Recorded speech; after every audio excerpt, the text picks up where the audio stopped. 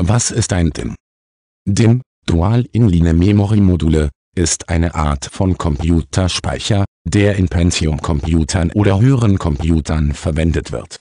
Ein DIM besteht aus einer kleinen Leiterplatte, die 4 oder 9, mit Parität, synchrone SDRAM-Chips, Dynamic Random Access Memory, oder DDR-SDRAM-Chips, Double-Data-Rate, pro Seite enthält.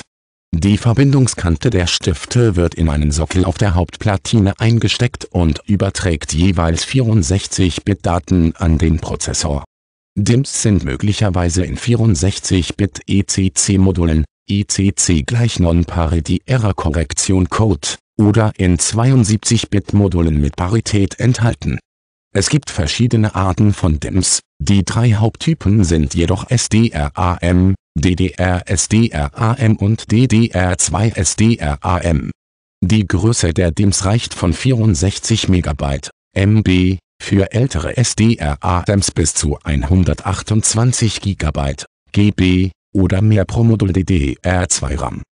Von den verschiedenen DIM-Typen ist der 168-Pin SDRAM als Original-DIM bekannt und verfügte über Daten und Taktraten von bis zu 133 MHz, MHz. Diese Module hatten eine Kerbe an jeder Seite und zwei Kerben an der Verbindungskante der 184-polige DDR und der 240-polige DDR2-Speicher haben eine ähnliche Architektur mit zwei Kerben auf jeder Seite und einer Kerbe entlang der Verbindungskante. DDR-Speicher haben Taktraten von bis zu 200 MHz und die doppelte Datenrate von SDRAM.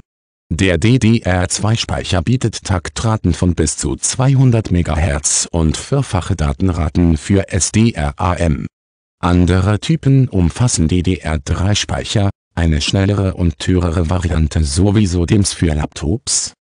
Um das Jahr 2000 ersetzten DIMMs SIMS oder Single-Inline-Speichermodule als Standard für den Computerspeicher in Pentium-Computersystemen.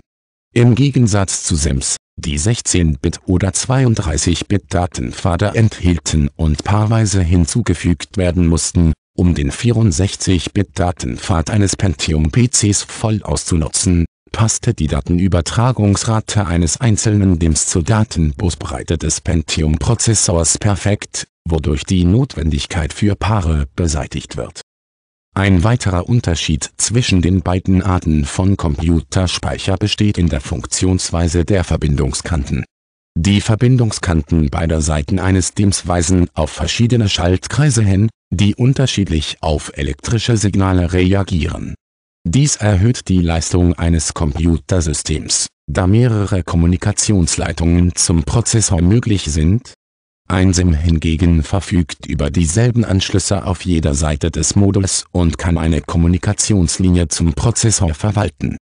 Obwohl das Installieren von DIMMs ein relativ einfacher Vorgang ist, können DIMM-Speichertypen nicht untereinander ausgetauscht werden Schlagen Sie immer in den Handbüchern zu Motorboards oder PCs nach, um den Typ zu überprüfen, bevor Sie DIMMs austauschen oder Speicheraufrüstungen durchführen.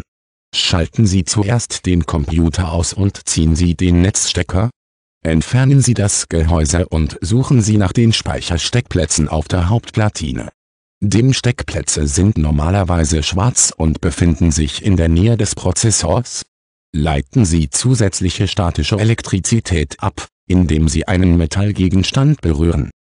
Stellen Sie als nächstes die Auswurfklammern auf die Position unten. Halten Sie das Speichermodul an den Rändern fest, um einen direkten Kontakt mit den Stiften zu vermeiden. Richten Sie die Kerben an der Verbindungskante an den Schlüsseln im Sockel aus, damit sie übereinstimmen. Drücken Sie das Modul in seine Position, bis es einrastet und beide Auswerfer auf dem Modul einrasten. Bringen Sie die Abdeckung des Computers wieder an, schließen Sie die Kabel wieder an und schalten Sie den Computer ein. In den meisten Fällen sollte das System den neuen Speicher erkennen.